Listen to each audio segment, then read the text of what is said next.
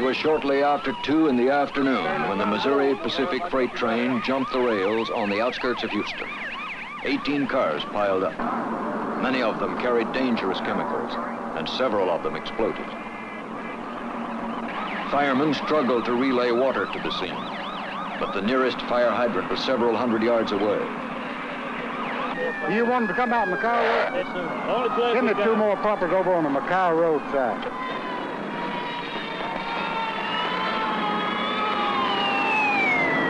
Fire officials feared another explosion and ordered all the houses in the area evacuated. Fireman Andy Nelson was on a ladder trying to keep another tank from exploding. Fire Chief Jim Honey was unable to find out what was in the burning car. Well, get your water then. Here, keep it cool as much you can. Let the fire burn. That's right.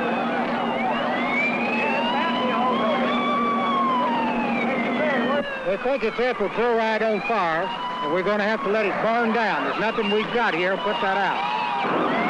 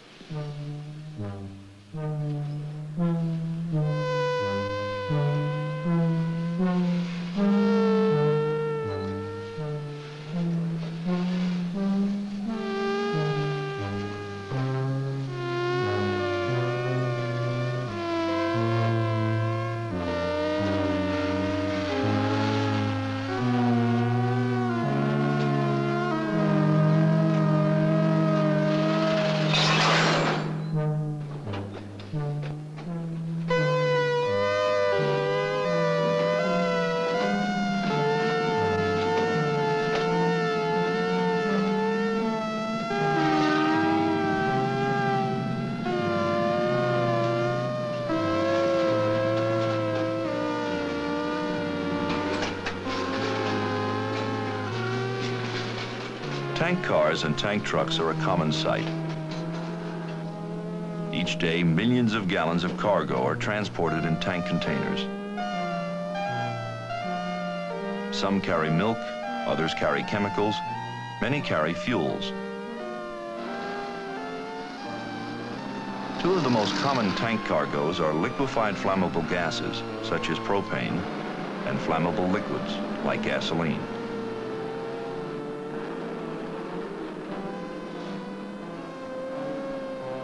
Almost every community has tanks containing flammable liquids and gases traveling its roads and railways daily. These materials are transported from producing plants to storage and distribution centers and are again moved to points of use and resale. Tank containers have grown larger as fuel consumption has increased. Tank trucks carrying as many as 10,000 gallons and jumbo railway tank cars carrying upwards of 30,000 gallons are now common. Both gasoline and propane are transported in a liquid state. Under normal atmospheric pressure, propane is a gas.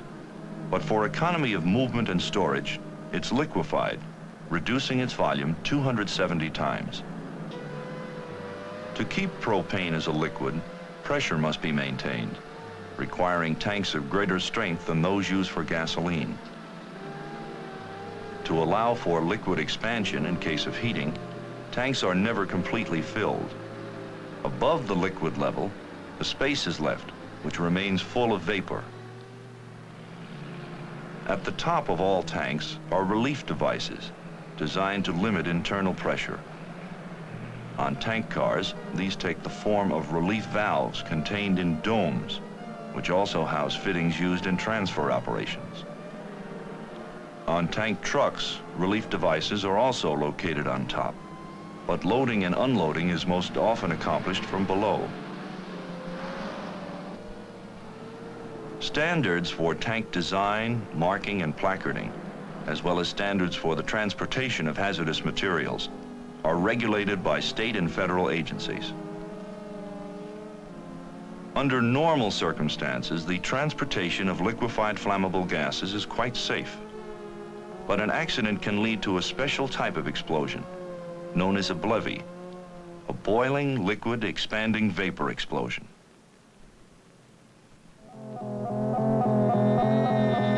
In a collision or derailment, liquefied gases can be released, vaporizing immediately. Being heavier than air, they remain close to the ground. Spark or other source of ignition can ignite these vapors, flashing back to the leaking liquid. The fire heats another tank. The liquid inside that tank becomes heated, boils, and expands, increasing the pressure within the tank. The relief valve operates to limit the excess pressure. The tank can withstand this pressure only as long as the tank metal retains its design strength. Where flames contact the tank below the liquid level, the liquid acts to absorb the heat, and the tank metal below this point remains at a safe temperature. With continued relief valve operation, the liquid level drops, exposing greater areas of metal to the effects of heating. Flames contacting the tank above the liquid level create temperatures within the metal high enough to weaken it. When this happens, the pressure within the tank can cause the metal to thin and eventually tear. The pressure drops suddenly. Large quantities of boiling liquid vaporize, expand, and ignite immediately, and tank pieces become flying missiles. Large sections of the tank car can rocket over one half mile and often trail ignited liquid. The ground flash covers an area hundreds of feet in diameter. The blast wave has tremendous force, enough to break windows several miles away. The fireball rises on a thermal column, radiating heat severe enough to cause burns for distances up to 1,000 feet beyond the fireball. This all happens swiftly and without warning.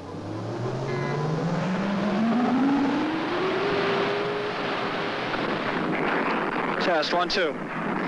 D&H Railroad derailment 21274. Approximately 410 this afternoon, a 100-car uh, train of the D&H Railroad was traveling through the town of Emmons, just east of Oneonta. 28 cars derailed, eight of them bulk pressurized propane tank cars. Searing hot flames and smoke soaring as high as 150 feet into the air. The scene is a mess with cars strewn all over the railroad.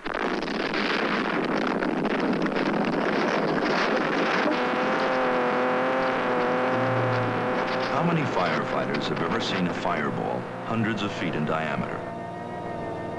How many have ever seen a 12-ton section of tank car rocket through the air trailing burning fuel? The traditional fire department approach is to attack and extinguish all fires. Because of the serious nature of BLEVEs, it is recommended that fire departments reevaluate their approach to these transportation accidents.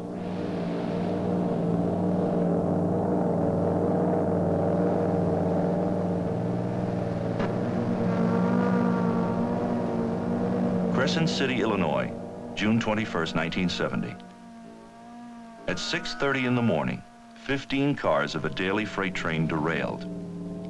Nine tank cars were involved.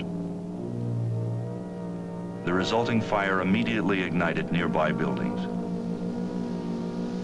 Firefighters were at first unable to determine the exact contents of the tank cars. Loss of electrical power to pumps made water unavailable to firefighters.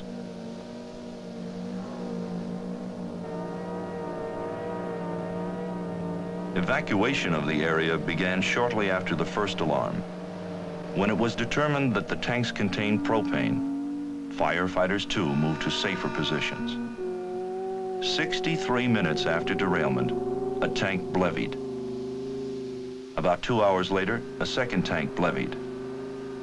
And five minutes after that, a third.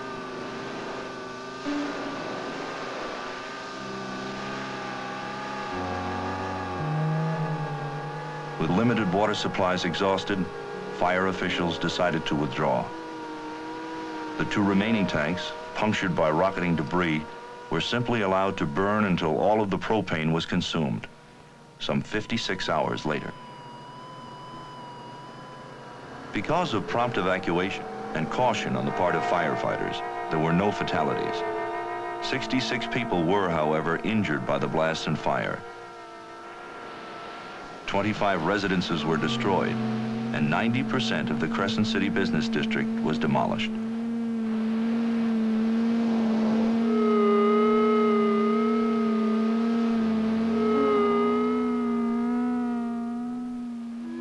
Kingman, Arizona, July 5, 1973. At a gas distribution plant on the outskirts of Kingman, two employees were connecting a single propane tank car to an unloading rack when they noticed a leak. During their attempt to stop the leak, a fire ensued. Upon arrival, firefighters found flames contacting the upper area of the tank and had no way of knowing how long the tank had been exposed. The nearest fire hydrant was about 1,200 feet away. About 10 minutes after firefighters arrived, the tank car BLEVE'd.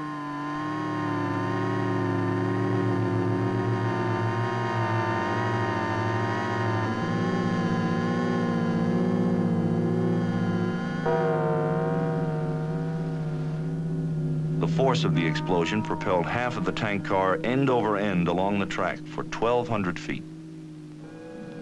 The initial ground flash, about 400 feet in diameter, caught 13 firemen. 12 of them were killed. 95 people were injured by the blast, most of them spectators, stopped on the highway some 1,000 feet from the tank site. At Crescent City, life and property exposure was high. Tank contents were not immediately known, and water for cooling was not available the pileup of tanks multiplied the BLEVE hazard. Only by the quick evacuation of civilians and the judicious retreat of the fire forces was loss of life avoided. At Kingman, the threat to life and property in the immediate area was minimal. The contents of the tank were known, but water was not readily available. The relief valve was operating, but flames were still impinging on the upper vapor part of the tank, and a BLEVE was possible at any moment.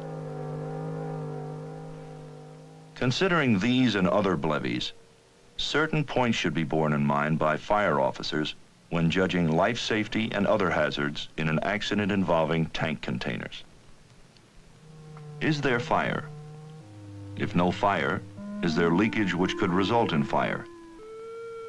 Knowing the contents of the tanks can be extremely helpful, although under emergency conditions, this information is often not readily available. If there is fire, how long has the tank been exposed to flames? This information is also rarely available to fire officers during the emergency. Some BLEVEs have occurred as early as 10 minutes after initial flame contact. Even though the relief valve is operating, a BLEVE can still occur. Given the location, what is the threat to life and property? Is civilian evacuation possible? Does the risk to life and property justify endangering the lives of firefighters? How much water is available? The application of water can keep tank metal at safe temperatures, but only if large volumes can be delivered to all points of flame contact Water application may need to be sustained for several hours. Fire officers are advised to assess carefully the danger to emergency personnel before making a commitment to fighting a fire involving serious BLEVE hazards.